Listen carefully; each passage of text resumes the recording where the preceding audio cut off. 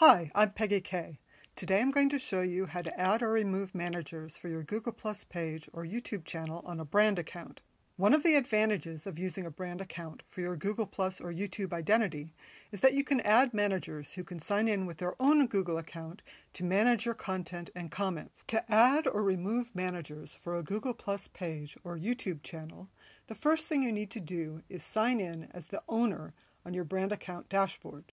Click on the name of your Google Plus page or YouTube channel to open the details page for that brand account. If you have a YouTube channel, you can also start in your channel's account settings and click Add or Remove Managers. On the Brand Account Details page, click Manage Permissions.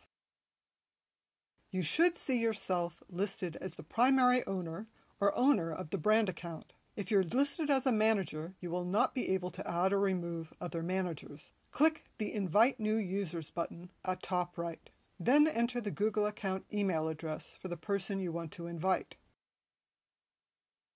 You can choose whether to add the person as an owner, a manager, or communications manager. The main difference between a manager and an owner is that only an owner can delete the brand account, YouTube channel, or Google Plus page and only the owner can add or remove other managers or other owners.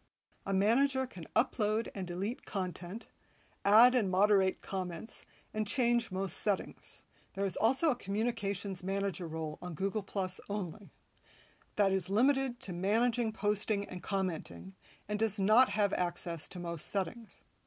Click Invite to complete the process. The person you invited will receive an email.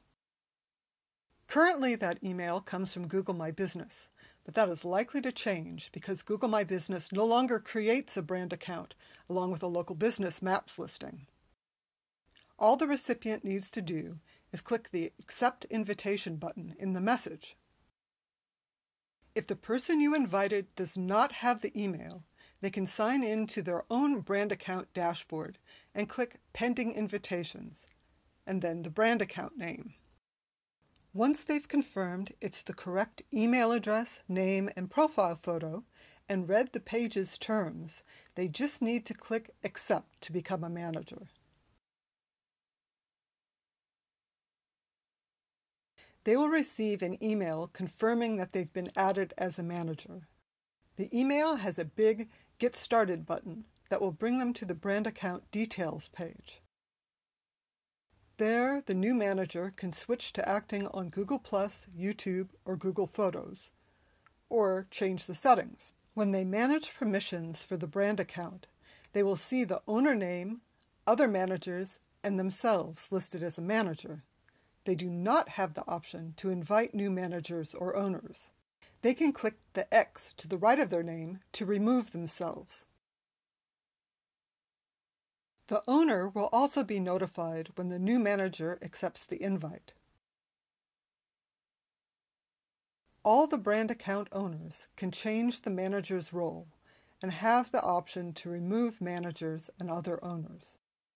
Note that Google Plus and YouTube will not get involved in disputes between owners or owners and managers, so choose people carefully before you give them access to your channel or page.